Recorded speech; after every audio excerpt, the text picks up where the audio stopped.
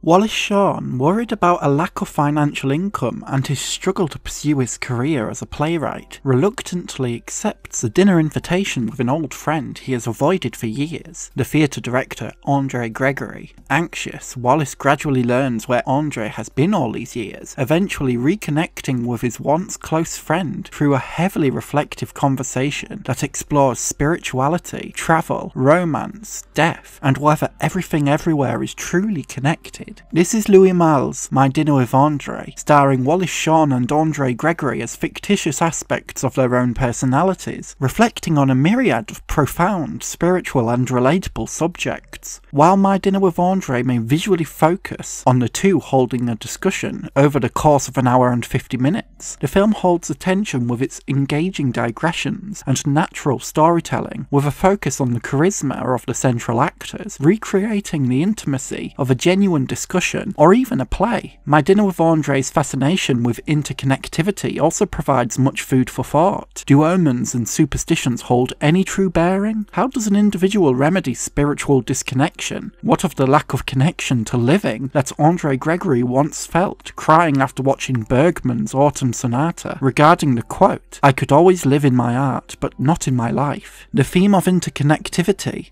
or a lack of it, re-emerges throughout My Dinner with Andre. The idea of interconnectivity and disconnection is established early on as Wallace, in a voiceover, expresses how his youthful interests included art and music, and now, in his 30s, the interest is money. He is struggling to pay his bills on time, and he's having to take on different jobs, while also working hard writing plays nobody will show. Wallace, it's fair to say, has become disconnected from the optimistic motivation that once spurned him onward into a career within the arts. A contrast to the disconnection is found in Andre's recollection of an experience he referred to as a beehive, a spiritual ritual that connects all participants through improvisations similar to theatrical rehearsals, something he's familiar with. Unsure initially on how to lead the event, he found that once it begun, people naturally moved into rhythms, circular movements, and collaborative interactions, suggesting that at the most subconscious level, people seemed connected somehow. Wallace and Andre seem to be opposites, as Wallace is critical of interconnection, using the analogy that a fortune cookie providing a bad omen, warning not to fly, would not deter him from getting on a plane, as the fortune cookie is unable to have any actual bearing on whether his flight is successful or not. The idea of interconnectivity to Wallace is a superstition. However, over the course of their discussion, there is a shift within Wallace, as the restaurant prepares to close for the night, and he leaves, taking a taxicab home. He reflects on the passing streets and buildings of the city, and how they all connect to his past memories, with the intention of reconnecting with his girlfriend, telling her about his dinner with Andre. It's a reassuring moment that suggests that interconnectivity is present in facets of our lives, and that after such a profound conversation with an old friend, there is a sense of renewed motivation, a reconnection with a motivation once lost. Without hyperbole, Wallace comes away from the dinner with Andre a somewhat changed man.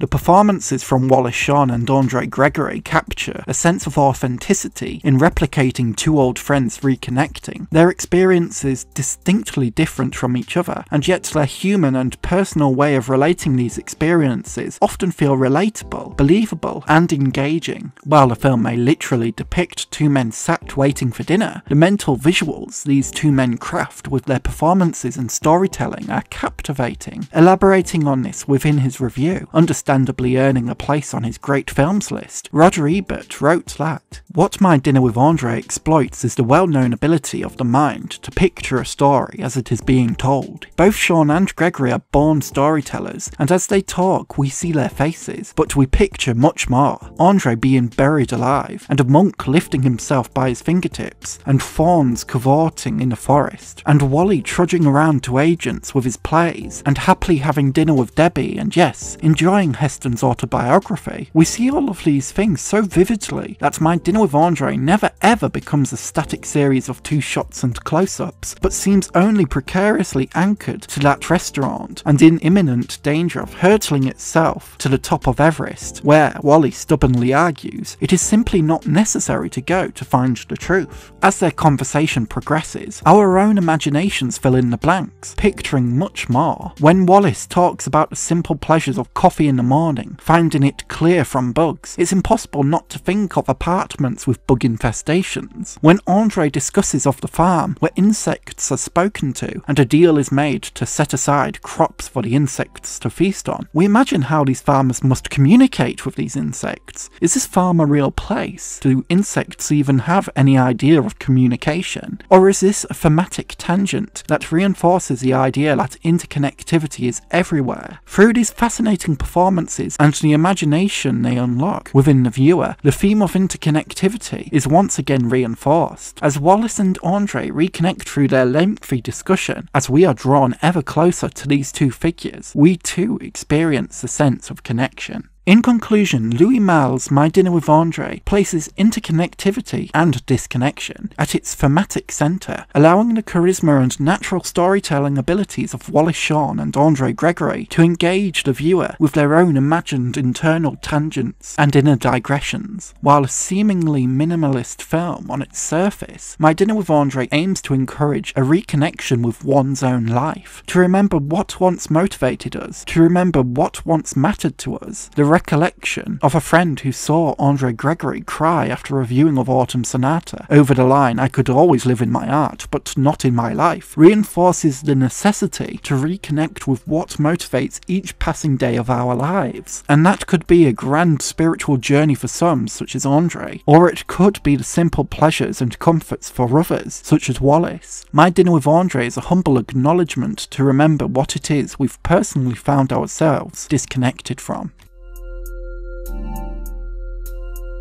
A special thank you to my incredible tier Patreon supporter Gil and my super tier Patreon supporters Constantine Bombelli and Victoria.